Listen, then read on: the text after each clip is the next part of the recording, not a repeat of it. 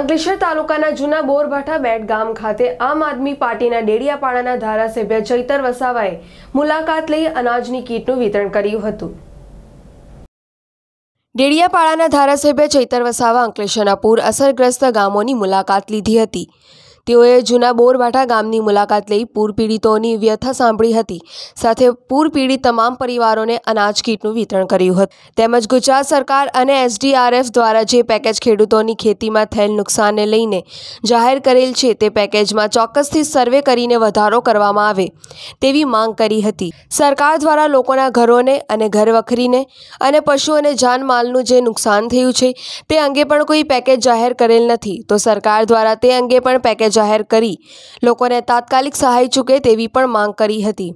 અને જો રાહત પેકેજમાં વધારો કરવામાં નહીં આવે તો આવનારા સમયમાં ખેડૂતો આક્રોશમાં હોય. અને આવનારા સમયની અંદર આંદોલન પણ કરીશું તેવી ચીમકી ઉચ્ચારી હતી. સત્તરમી સપ્ટેમ્બરના રોજ સરદાર સરોવર નર્મદા ડેમમાંથી એકી સાથે ત્રેવીસ દરવાજાઓ ખોલીને અઢાર લાખ જેટલું ક્યુસેક પાણી છોડવામાં આવ્યું. જેના કારણે નીચેનો જે કાંઠાનો વિસ્તાર છે એમાં નર્મદા, ભરૂચ અને વડોદરા જિલ્લાના ઘણા ગામોમાં ભયાનક પૂરની સ્થિતિ સર્જાઈ.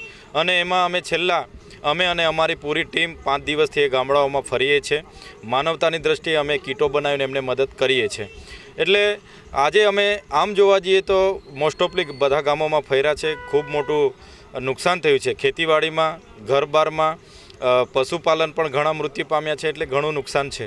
ત્યારે ગુજરાત સરકારે જે જાહેરાત કરી છે પેકેજની, એમાં ખેતી પાકો માટે જે બિન પિયત ખેતી પાકો છે, એમના માટે આઠ હજાર પાંચસો રૂપિયા, પિયત ખેતી પાકો માટે પચીસ હજાર રૂપિયા હેક્ટરે અને જે બાગાયતી પાકો માટે એક લાખ પચીસ હજારની સહાય એમણે જાહેરાત કરી છે, એ ખરેખર અહીંના ખેડૂતોની મજાક છે.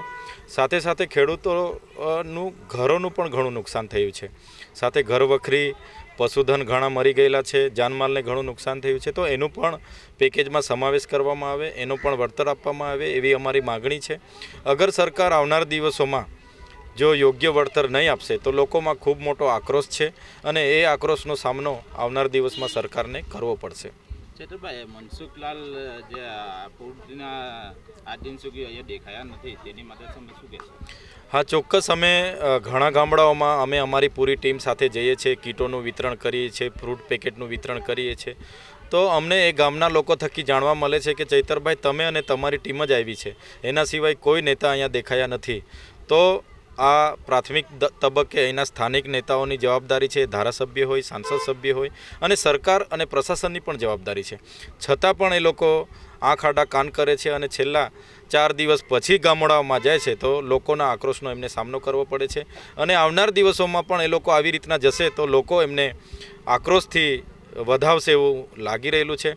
સાથે સાથે અમે ડેડિયાપાડાના ધારાસભ્ય છે અને એક માનવતાની દ્રષ્ટિએ અમે અમારા તરફથી, અમારી ટીમ તરફથી જે પણ મદદ છે તે કરવા માટે આવ્યા છે અને બીજા લોકોને પણ અપીલ કરીએ છીએ.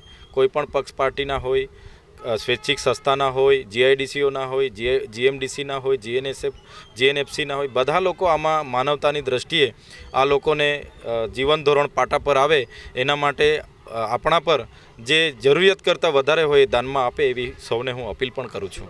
પિન્ટુ મોદી, જનસાક્ષી ન્યૂઝ અંકલેશ્વર